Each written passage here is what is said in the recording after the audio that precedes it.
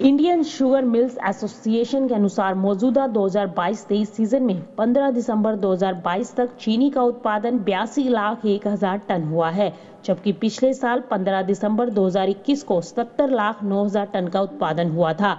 यानी इस सीज़न में चीनी उत्पादन 4 लाख टन अधिक हुआ है।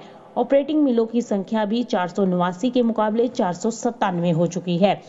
वहीं आपको बता दें कि बंदरगाह की जानकारी और बाज़ार की रिपोर्ट के अनुसार अब तक चीनी के निर्यात के लिए लगभग 45 से 50 लाख टन अनुबंध किए जा चुके हैं। उसमें से 30 नवंबर तक 22 तक लगभग 6 लाख टन चीनी का भौतिक रूप से देश में निर्यात किया जा चुका है।